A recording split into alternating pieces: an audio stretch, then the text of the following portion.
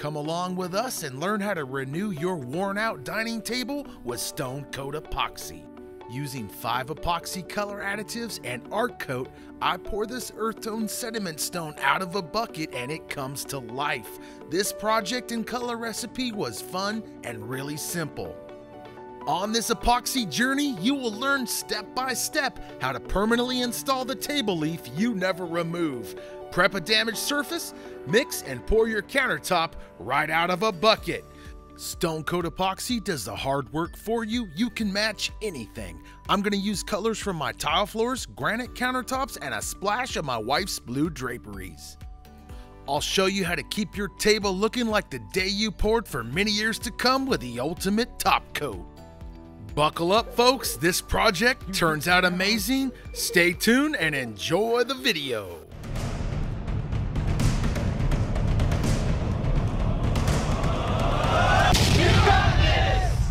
While we're loading up, if you haven't already, help us grow. Subscribe to the channel, ring that bell, get notified of all our new videos. All right, let the transformation begin. That is beat up. I cannot wait to see this thing all fixed up. Step one, clean the project with TSP. Following the manufacturer's instructions, I diluted the TSP concentrate with warm water and misted the project heavily to remove the grease and grime before sanding. I've never removed this leaf. I'm gonna take it apart, clean it, then I'm gonna glue it back together like it never existed.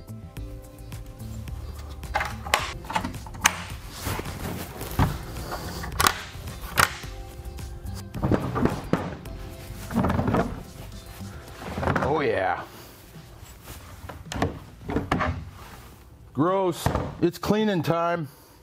Our dining table fits our family perfectly with a table leaf installed, and we never remove it.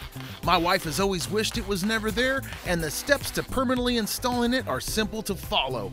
Step one is the most important clean between the leaf thoroughly before sanding. Nothing likes to stick to grease and grime. All right, step two rough up and sand the surface and between the table leaf with 220 grit sandpaper. Scratched and beat up, my table still had a lacquer finish, and you will need to rough up any lacquer to create a mechanical bond. Clean the surface one more time with TSP. To permanently install my table leaf, I'm going to use Quick Coat. Quick Coat is a fast drying epoxy one to one ratio. You mix for two minutes with a paddle mixer. You gotta work quick it sets up in about 15 to 20 minutes. To extend Quick Coat's working time, mix and then quickly remove out of the bucket. Woodworkers love the Quick Coat because they can fill gaps and seams. You can seal coat those edges before pouring that river. Mix small batches at a time if working with many table leaves. Start by pouring part B first, then part A at a 1 to 1 ratio by volume. Mix for 2 minutes with a paddle mixer. Add Stone Coat's epoxy thickener to achieve desired level of thickness, usually 5% by weight of mixed epoxy. Mix again for another minute, and now you're ready to go. Pour that epoxy out of the bucket to keep it from setting off prematurely.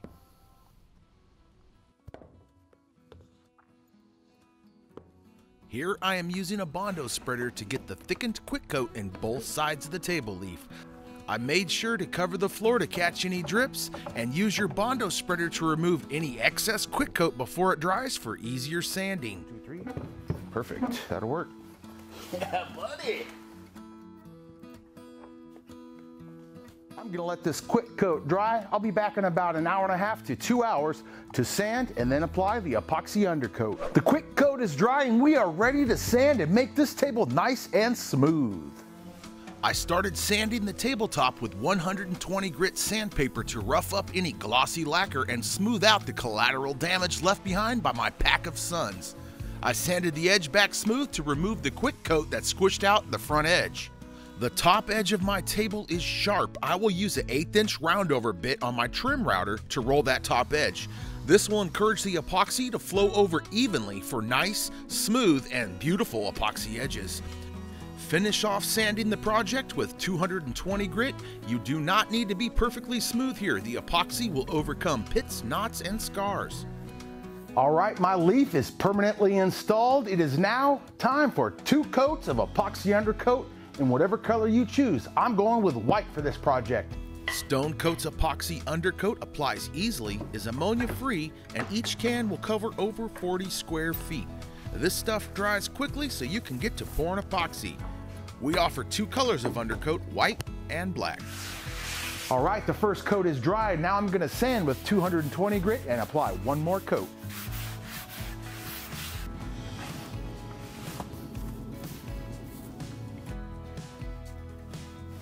All right, folks, my dining table is prepped and ready to pour. I cleaned the grease and grime from in between that table leaf. I permanently installed it with Quick Coat. I sanded my project. I applied two coats of epoxy undercoat in white. And before I go messing this up, I'm gonna create a small sample piece, take a picture, send it to my beautiful wife, get her stamp of approval, and then I'm off to the races. You ready? Yeah, let's do it. All right, folks, question of the day. What will you do with these table legs? Paint them, Good work. stain them, or figure out something to do on Pinterest? The table legs are in pretty good shape, so I want to make sure to keep the epoxy drips off. I'm using delicate release tape and painter's plastic. If you are pouring new countertops over your worn out tops in place, you'll want to prep the cabinets the same way. During the winter months, to help with mixing and air bubble release, warm the epoxy bottles in front of a space heater for 15 to 20 minutes. All right, guys, I made this sample. It's nice and dry. I'm gonna get my wife on the phone, make sure she likes it before I proceed with my table. All right, I can hear you. You wanna see the piece? Yeah. All right, hold on, I'm gonna switch it around. All right, what do you think? Ooh, it's beautiful. There's a recipe approved. We're off to the races. It's time to mix. Art Coat is a one to one ratio epoxy by volume, not weight. I'm going to mix up this kit, divide it into mixing cups, tint that epoxy individually, pour it back into the mixing bucket, and now you're ready to pour your countertop right out of that bucket. Start with part B, then pour in part A at a 1 to 1 ratio by volume, not weight, then mix for 2 minutes with the paddle mixer. Keep from rubbing the bottom and sides while going full speed. While Luke's mixing, I'm going to tape the edges to keep my exotic pour from pouring over the edges prematurely.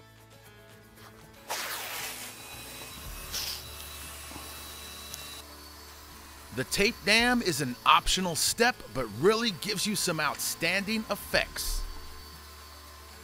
All right, this recipe is gonna be white, brown, a little bit of blue earth, some copper, and a touch of diamond dust. Go time. It's go time. It's time to divide up your mixed art coat into separate mixing cups. I'm going to use our exotic pour technique for this project. Exotic pours are super simple, perfect for beginners or the Epoxy Pro because of the realistic head turning countertops created just by using a couple of liquid epoxy dyes and metallic powders A together. little brown.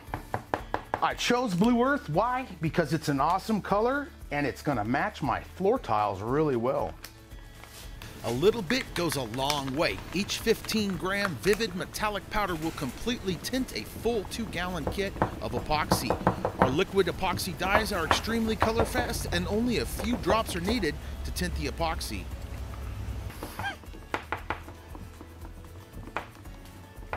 All right, the epoxy's tinted. It's now time to put all this tinted epoxy back into your mixing bucket. Building the exotic pour bucket is so satisfying. I get pumped up every time anticipating how the countertop will come out. Just randomly add the tinted epoxy back into the larger mixing bucket. Another technique that can up-level your exotic pour is slowly apply this epoxy down the side of that bucket.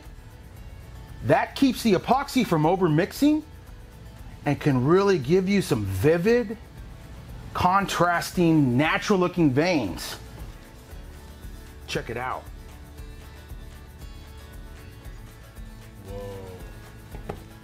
Using this technique with an exotic pour gives you that striated, stacked sediment look you can find out in Mother Nature. That looks epic. Sure does. I would say doing this little technique was the best happy accident, as Mike would say, I've ever had.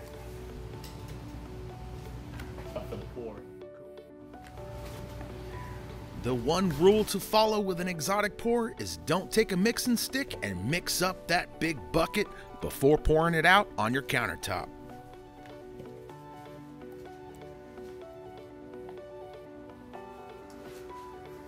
Here comes the fun part. In any pattern you choose, slowly pour out your larger mixing bucket onto your project. I'm looking for the stacked sediment look, so I'll pour my bucket back and forth. Because this is a dining table, I can lift and tilt this project for some seriously realistic looking effects. If you cannot lift or tilt your project, don't worry, you can still get these effects, letting the epoxy self-level and using a heat gun to move and meld the epoxy.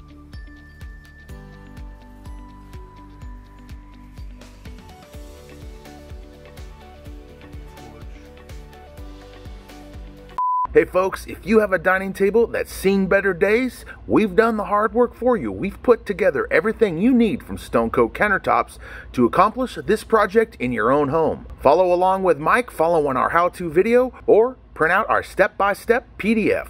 Jump on over to our website after the video and grab your dining table repair kit with Stone Coat Epoxy. Now, back to the video.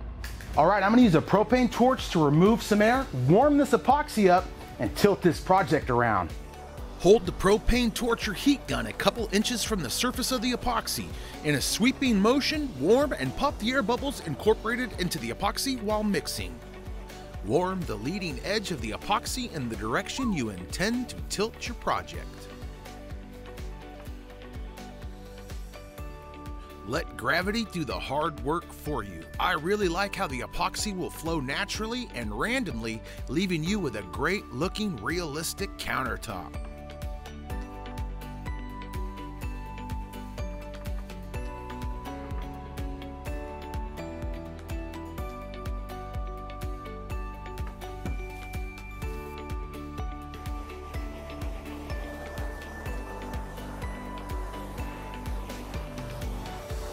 Look at that project come to life.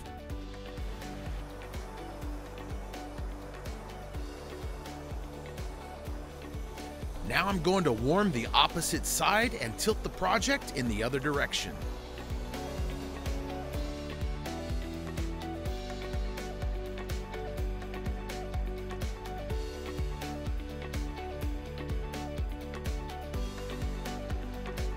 Absolutely loving how this project is turning out. I'm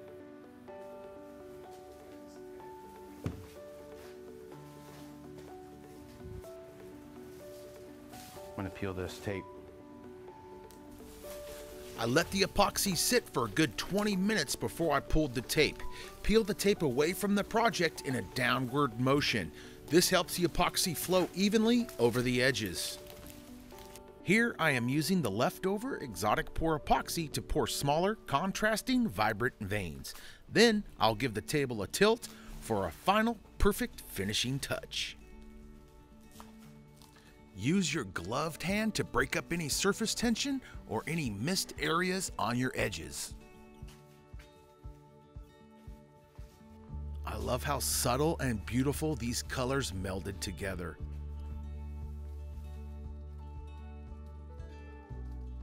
Now with a propane torch, hold it a couple inches from the surface, sweep the entire project overlapping your flames so you don't miss any bubbles. A torch or heat gun will remove the air bubbles incorporated into the epoxy while mixing.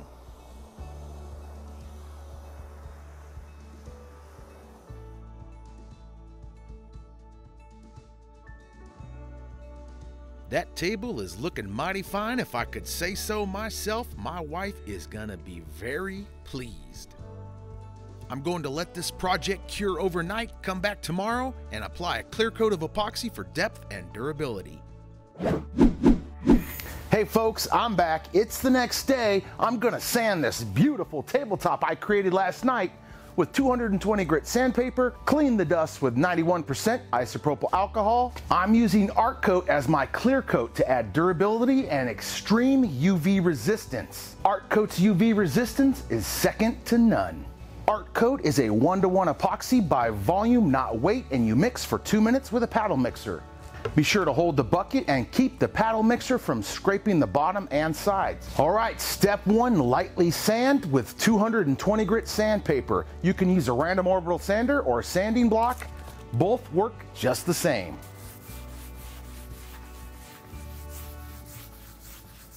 I like to remove my sanding pad off the backer to hit the edges so I don't over After a quick sanding, clean the top with the paper towels and a little bit of isopropyl alcohol.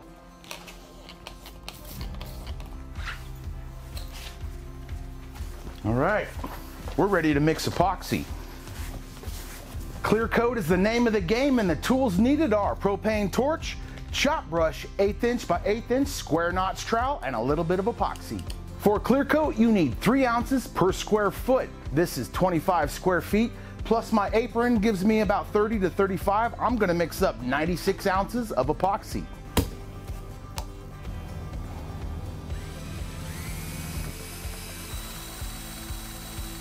So pour your epoxy mixture into the center of your project.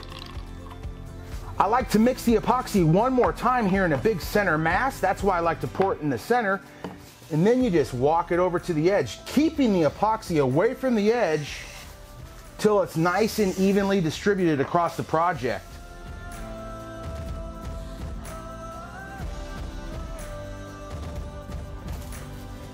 That thing looks good with a clear coat on it.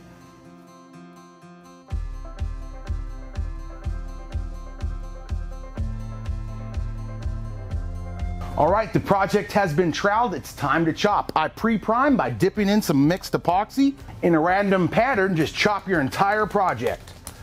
Use the heel of the brush and just don't do rows, go randomly.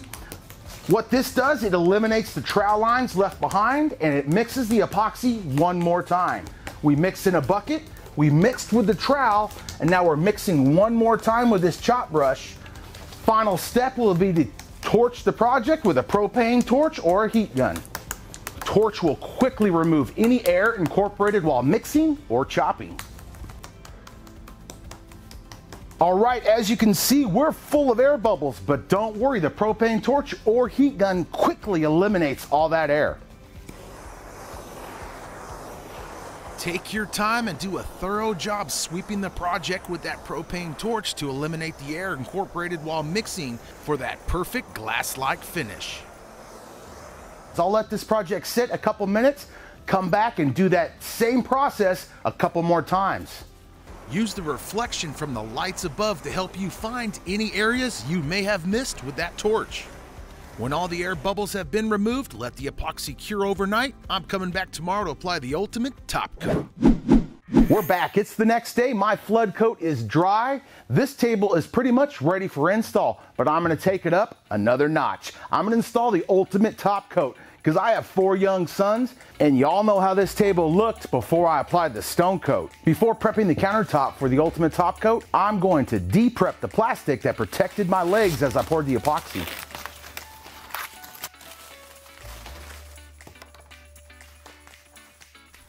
After removing the plastic, lightly sand the surface and edges with 220 grit sandpaper for a mechanical bond of the top coat.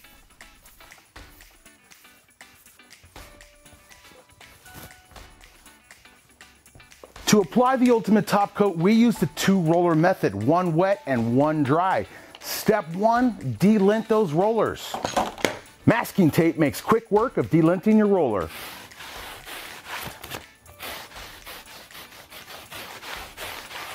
All right, it's time to mix up the ultimate top coat. Step one, it's important to shake up part A before mixing in with part B. There's a matting agent that likes to settle, so give it a quick little shake and you're off to the races. Each ultimate top coat kit will cover 40 to 50 square feet. I'm working with about 25 to 30, so I'm gonna mix up about half of my kit. Remember, the top coat is a two to one mixture, so two parts A followed by one part B.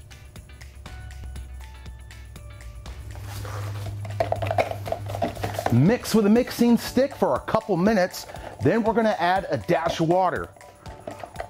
Adding water really helps thin to the consistency to make it easy to apply. I add a little bit more than a capful, but do not exceed 2% by volume. We designed the ultimate top coat to dry quickly so you can get back to using your kitchen. Now time to add a dash of water.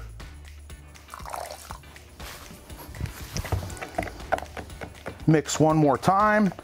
Once you've achieved your optimal consistency, pour that mixture into your paint tray and it's time to wet roll. Set one roller aside, that will be your dry roller. I saturate my roller completely in the top coat, roll some of it off, and then take that material right to the center, and then that's gonna be my reservoir as I feather out the top coat onto my project. If you start running low on your top coat reservoir, re-wet your roller and then evenly spread the rest of the material over the project.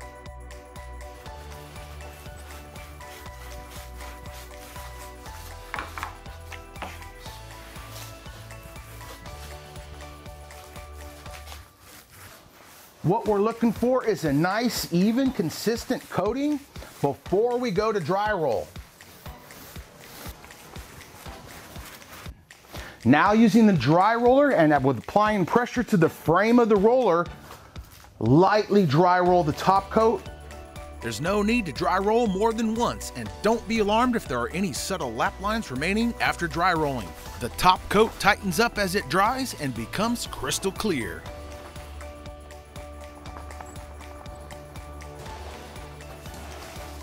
All right, the ultimate top coat is as simple as that. I'm gonna let this dry. It's gonna be dry to the touch in four to five hours and ready for kitchen use the next day. Okay, man, what do you think? Dude, you did an amazing job.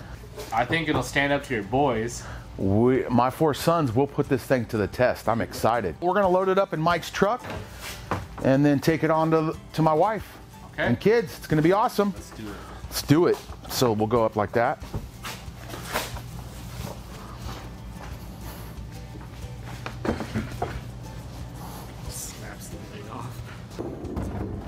We've got a quick five minute drive to my house. Mike won't even know I borrowed his truck until he watches the video.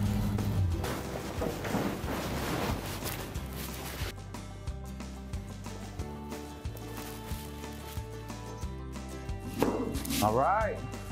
I love What do you it. think? It goes tucking good in here, right? Beautiful. What do you think? Absolutely awesome. Yes. I can't believe this is our kitchen table. John, what do you think? What's your favorite part? This part. This part right here? Yeah. That is pretty cool, I agree. Operation Upgrade My Dining Table mission successful. We hope you enjoyed this video, and from all of us here at Stone Coat Countertops, you got this. We'll see you on the next video.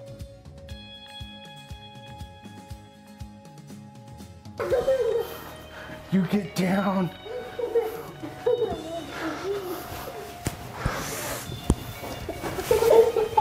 Thanks for watching, everybody. Jump on over to stonecoatcountertops.com to find everything used in this video.